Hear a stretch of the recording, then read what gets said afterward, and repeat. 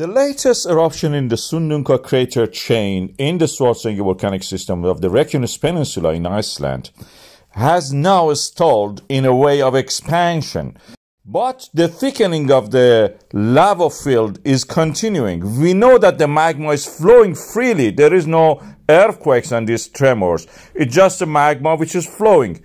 Uh, this is visible in the earthquake charts. Most of what you see is due to the weather, but the land rise in the Svartsengi and Skipatski uh, Heron is actually continuing. It Means the slight drop in the uh, level of the magma flow. That means the magma is uh, slightly trapped, so it starts to swell up, as we have seen in previously in this area.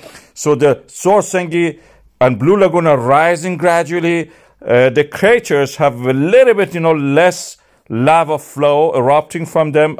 I marked them. For example, K1 is now the biggest. Cave have disappeared. The biggie practically is just doing a little bit, but not much.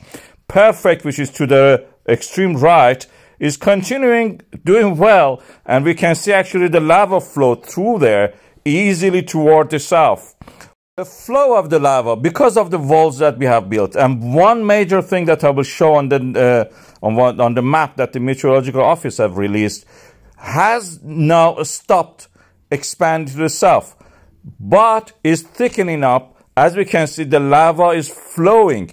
But because of this little islet of the raised ground, we actually chocker blocked the flow of the lava toward the east of the Grindavik. Although we are raising the level of the walls, this shows the effectiveness of the, what I suggested, the Iranian ways of holding fluids back, things which are running.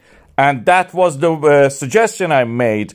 And it shows that this is a very effective if you want to thicken not lengthen the lava field. By building this kind of walls, naturally one example showed that such a thing is effective. We practically hold on the lava flowing, but building up behind the walls that we construct on this way. I have a video about this and I suggested it in that video. Please watch that after this.